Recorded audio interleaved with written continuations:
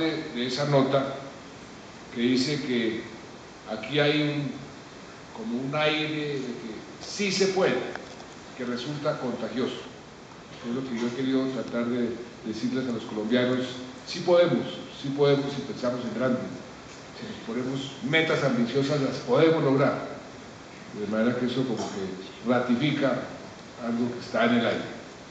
Y yo diría que ese aire sí se puede sentir en todo el país.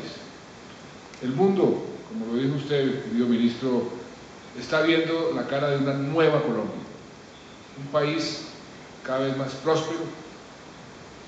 Hace unos días en el País de Madrid, el periódico, un analista muy famoso dijo, el país con mejor futuro de toda América Latina es Colombia. Un país cada vez más seguro, un país abierto al mundo y un país auténtico, lleno de diversidad cultural, lleno de contrastes, que es parte de nuestra fortaleza. Es un país confiable.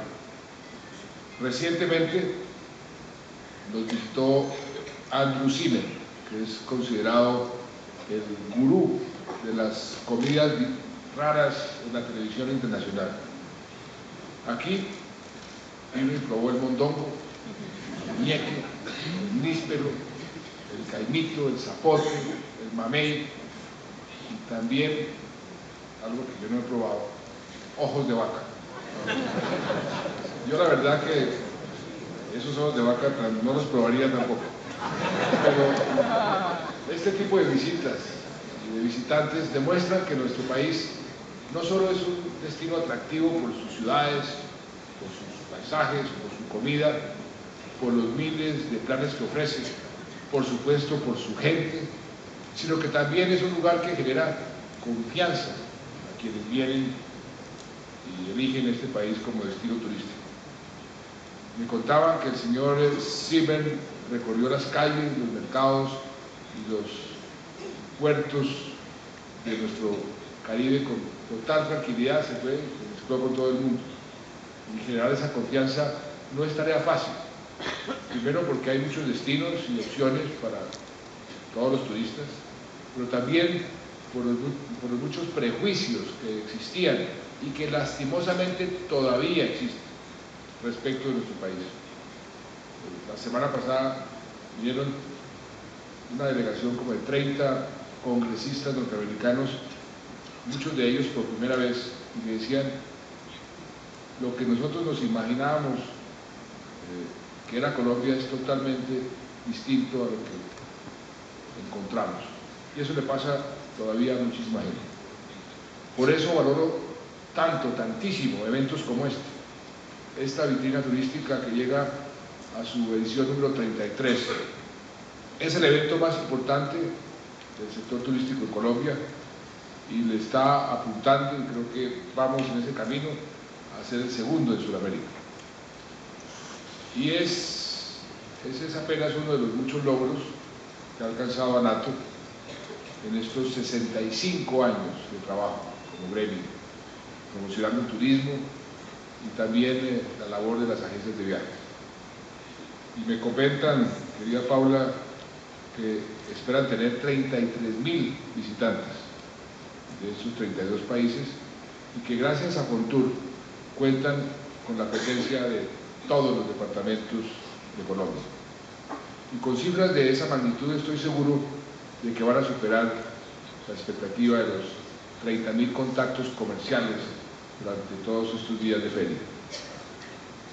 aprovecho para agradecerle la presencia a todos los países, en especial al país eh, honrado, al país eh, que lo hemos designado como país elegido este, en, este, en esta visita, en esta ocasión, mi querido ministro, y a la directora de promoción turística de su ministerio, Jennifer Ortiz, que nos acompañan hoy como invitados de honor.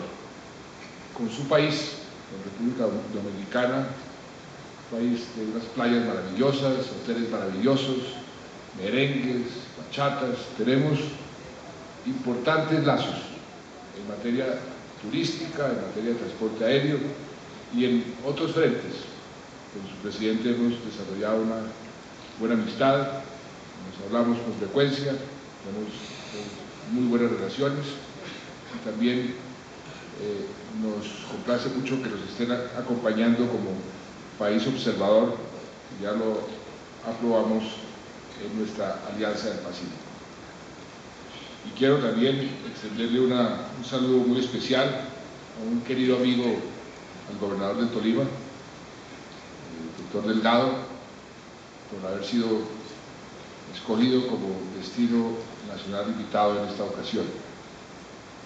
Su departamento, conocemos muy bien, de allá viene el doctor Gómez Méndez, de Chaparral, el, eh, Departamento Musical de Colombia, está lleno de maravillas, la ruta del río Magdalena, la ruta de los nevados, los grandes destinos turísticos en, Ibagué, en Honda, en Melgar.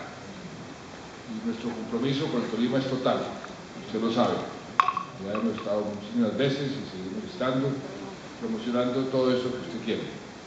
Mi compromiso con los juegos es también total y vamos a hacer unos juegos maravillosos y le cuento que estuve el domingo pasado allá en Melgar, en Tolemaida, comiéndome la mejor lechona que uno puede encontrar en el departamento de Tolima.